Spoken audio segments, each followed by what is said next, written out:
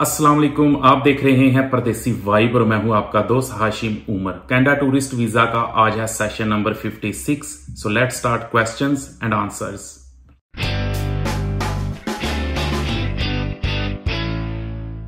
पहला क्वेश्चन है four star vlogs का। अस्सलाम वालेकुम हाशिम भाई, वालेकुम अस्सलाम। मेरे चार बच्चे हैं किड्स एजेस आर 12 10 9 7 मैं और मेरी वाइफ बच्चों के बगैर विज़िट वीज़ा अप्लाई करें तो कितने चांसेस हैं? प्रोफ़ाइल अच्छी है, हमारी property business and statement etcetera please reply देखें फंड्स वाला सेक्शन तो आपका क्लियर है।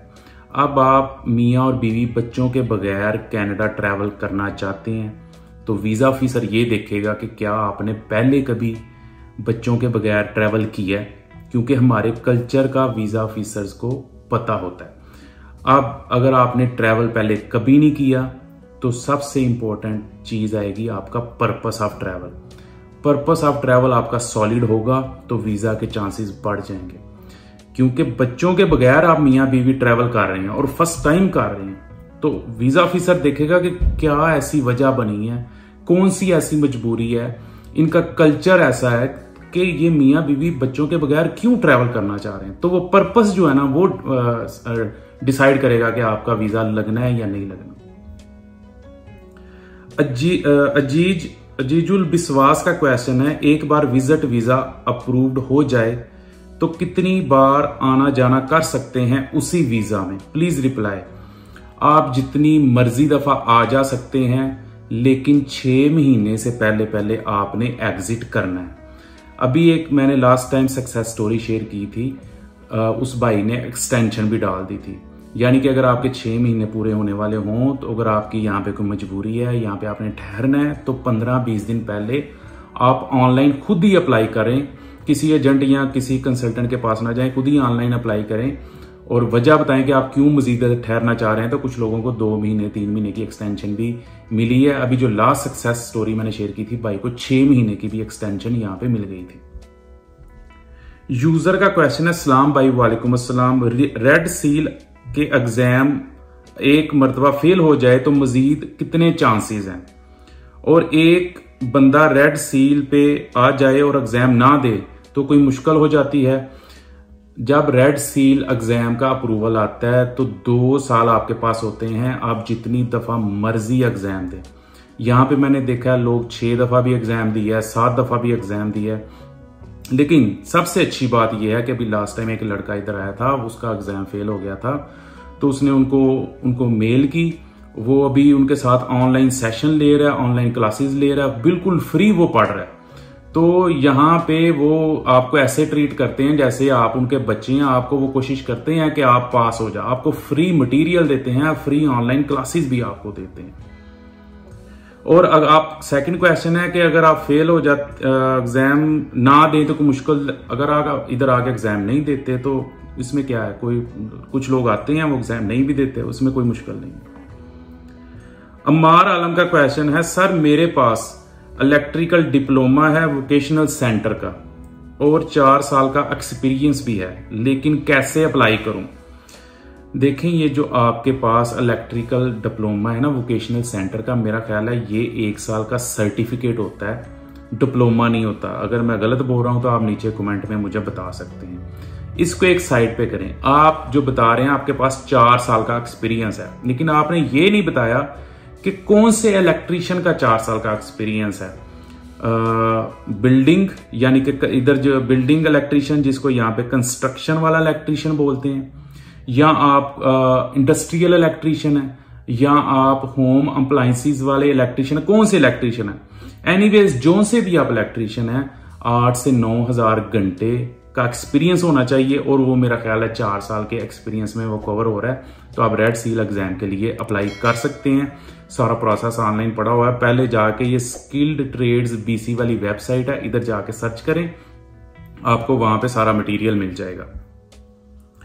इमरान हाशमी का क्वेश्चन है, अस्सलाम वालेकुम ब्रो, वालेकुम अस्सलाम। How to prepare for exam is it tough or easy exam kindly advise me how to book how to get book for preparation of exam ji exam की तैयारी कैसे करनी है? ये साइड पे वीडियो आप चल रही है। आप गूगल पे जाके लिखें स्किल्ड ट्रेड्स बीसी कनाडा उनकी ऑफिशियल वेबसाइट उसको ओपन करें, फिर आगे अपना प्रोफेशन लिखें इलेक्ट्रीशियन है प्लम्बर हैं पाइप फिटर हैं वेल्डर हैं, जो सा भी प्रोफेशन है। और ये भी वीडियो में देखें, वो जब आप अपने फॉर एग्जांपल इलेक्ट्रिशियन पे क्लिक करते हैं तो उसकी सारी डिटेल ओपन हो जाएगी। वहाँ पे पीडीएफ्स पड़ी हुई हैं, तकरीबन 180 के 190 पेजेस की, वो समझिए, किताब ही पड़ी हुई है। जो आप बोल रहे हैं ना कि कौन सी किताब, बल, इनकी वेबसाइट पे ही सब कुछ पड़ा हुआ है। तो वहाँ से भी आप तैयारी कर सकते हैं। अब आप पूछ रहे हैं कि एग्ज़ाम आसान होता है या मुश्किल? भाई, बहुत मुश्किल होता है। सिंपल मैंने बहुत सारे लड़के इधर देखे हैं जो ज़्यादातर फेल ही हो रहे हैं। लेकिन अच्छी बात यह है कि ये आपको जब फेल हो जाते हैं तो आप इनसे कांटेक्ट करें ईमेल के ज़रिए, या आपको खुद तैयारी करवाते हैं। सारा मटेरियल बल्कि वो खुद एक टीचर आपको एक मिल जाती है जो आपको ऑनलाइन तैयारी करवाती है। या करवाता है, क्योंकि जो रिसेंटली जिस लड़के को टीचर मिला है या मिली है, वो फीमेल है। तो इसलिए मेरे मुँह से निकल गया कि यार टीचर आपको मिल जाएगी।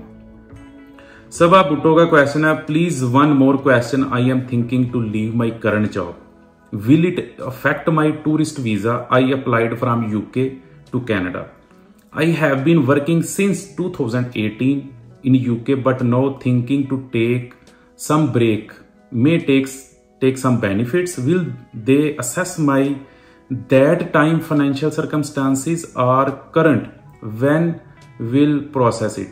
जब आप अपना वीज़े का प्रोसेस शुरू करेंगे, यानी कि आप अपनी फ़ाइल सबमिट करते हैं तो आपके जो पिछले चार से पाँच महीने जो आपके फाइनेंशियल सर्कमस्टांसिस यानी कि जो आपके करंट सर्कमस्टांसिस होंगे, वो उनको असेस करेंगे क्योंकि बहुत दफ़ा मैंने देखा है, लोगों की जॉब चली जाती है और जॉब के बाद उनको वो पिछली पेंडिंग सैलरीज उनके अकाउंट में आती हैं तो वो लोग समझ रहे होते हैं कि शायद हमारी अभी जो है ना फाइनेंशियल जो फंड्स वाला सेक्शन है, वो बहुत स्ट्रांग हो गया।